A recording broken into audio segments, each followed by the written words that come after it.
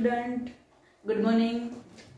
ધોરણ અગિયારના તમામ વિદ્યાર્થીઓનું હું ઓનલાઈન એજ્યુકેશનમાં હાર્દિક સ્વાગત કરું છું, અભિવાદન કરું છું. તમામ વિદ્યાર્થીઓને નવા વર્ષની ખૂબ ખૂબ શુભકામનાઓ. નવા વર્ષ સાથે જ આપણા નવા સત્રનો પ્રારંભ કરીએ. ગવર્મેન્ટે જે કોર્સ કાઢી નાખેલો છે એ ચેપ્ટરો બાદ કરતા હવે આપણે આગળનો કોર્સ જ ભણશું.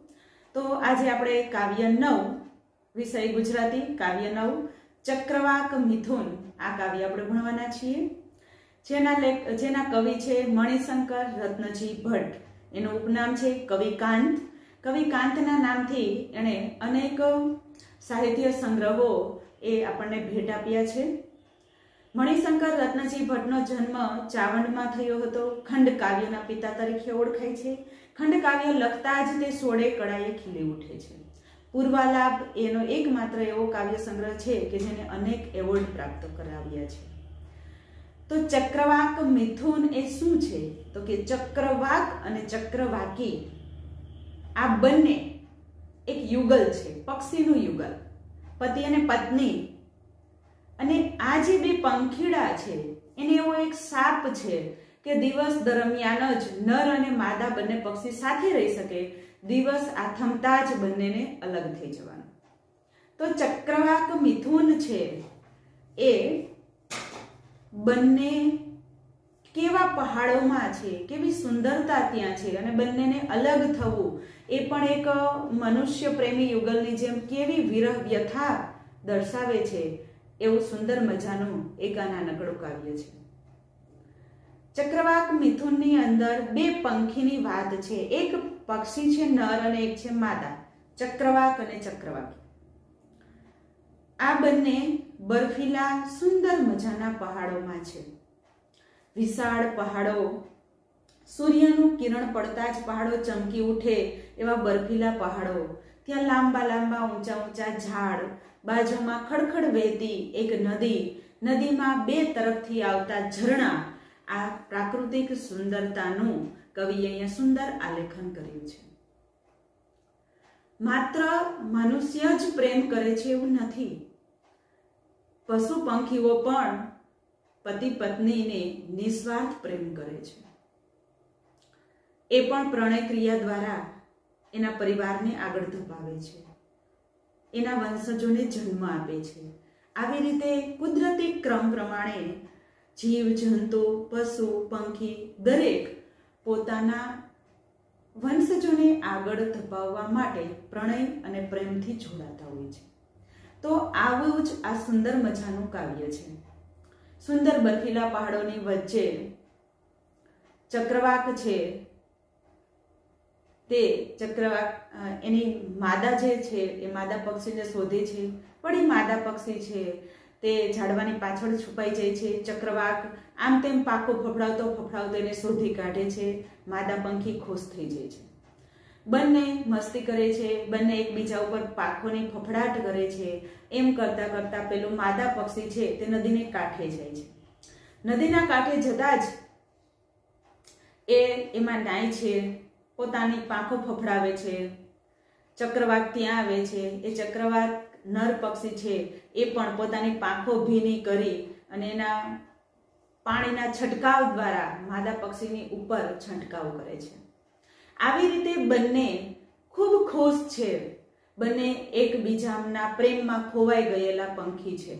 બંને એકબીજાને ચાંચું અથડાવે છે, એકબીજાના મોઢામાં દાણા આપે છે અને આવી રીતે મસ્તી કરતા કરતા આખા સમયનું ભાન પણ નથી અને દિવસ પૂરો થવાની તૈયારીમાં છે.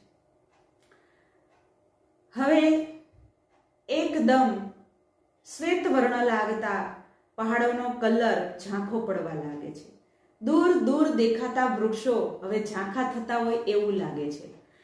જે પવનની ગતિ હતી, એ જ પવનની ગતિએ પવન વાય છે, પણ એ પવન હવે ઠંડો થવા લાગે છે. આ બધા જ પ્રકૃતિના ચિહ્ન એવું બતાવે છે કે સંધ્યાનો સમય આવી ગયો છે. સંધ્યા સમય થતા જ દિવસ આથમતા જ આ બંને જે પ્રેમી યુગલ છે, એ નર અને માદા પક્ષીને અલગ થઈ જવાનું છે. બંને એકબીજાના પ્રેમમાં ખોવાયેલા છે. પ્રણય ક્રિયા દરમિયાન એને એવું લાગે છે કે આ દિવસ તો આપણા માટે ઘણો ટૂંકો પડેલો છે. હવે ચક્રવાકી છે તે નિરાશ થઈ જાય છે અને નર પક્ષીને કહે છે કે દિવસ તો ઢળવા આવ્યો. આવો કેવો કુદરતી ક્રમ કે દિવસ આથમતા જ આપણે અલગ થઈ જવું.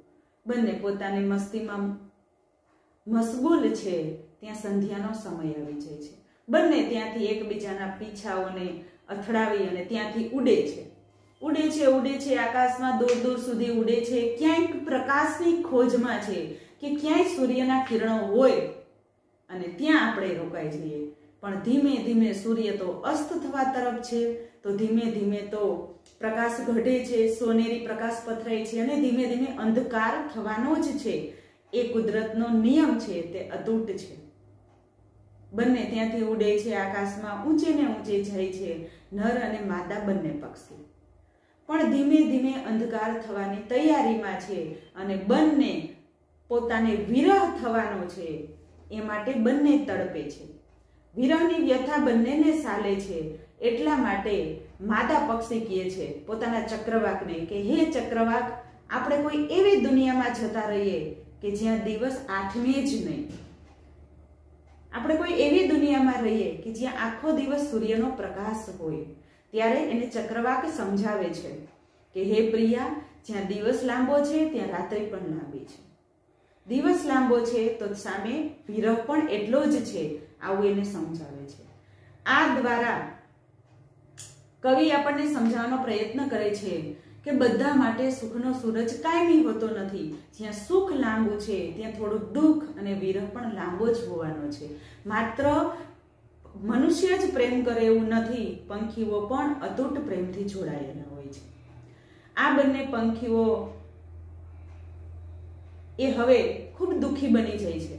બંને કહે છે કે રોજના માટે દિવસ આથમે અને વિરમમાં તડપવું. તો ચાલો આપણે પણ પાંખોમાં પાંખો નાખી અને આ ખીણમાં કૂદી પડીએ.